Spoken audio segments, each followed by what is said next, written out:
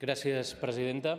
Quines són les mesures que ha adoptat el govern per donar compliment, per executar els acords que va aprovar aquesta cambra en la resolució 301 barra 10 sobre la situació de la joventut a Catalunya? Pot quantificar quins són els recursos específicament destinats a executar aquests acords que va adoptar aquesta cambra? Gràcies.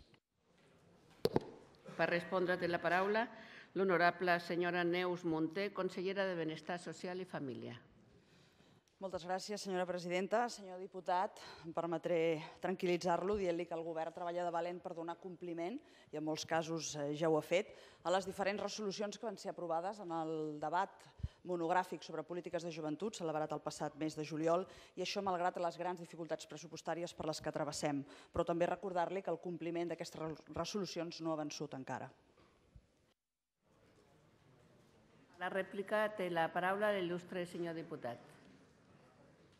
Gràcies, presidenta. Consellera, efectivament, el compliment d'aquesta resolució no ha vençut encara, però hi ha determinades decisions que ha adoptat el seu govern que fan de molt difícil compliment a aquesta resolució i ens preocupa el compliment de tota la resolució en general, evidentment, però ens preocupen també especialment tres coses.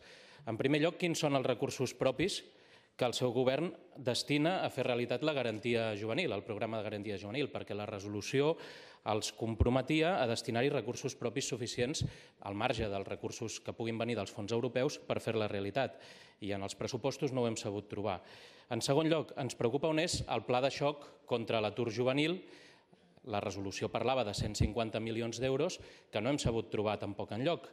I en tercer lloc ens preocupa on és la beca Queda't a Catalunya, la resolució els comprometia a destinar-hi 75 milions l'any 2014 per crear 12.000 places anuals i tampoc l'hem sabut trobar per enlloc. I el que els, els demano és que no ens facin com en el cas del, del Pla Insert Jove, eh, que és un cas en què vostès han agafat mesures que ja s'estaven portant a terme en exercicis anteriors, els han tornat a empaquetar, els han posat una etiqueta nova, els han posat un llacet i l'han presentat com una novetat. I això no és que ho diguem nosaltres, és que ho diuen, per exemple, les organitzacions sindicals a través de les seves branques juvenils. És un exercici de prestidigitació per dir-ne alguna cosa.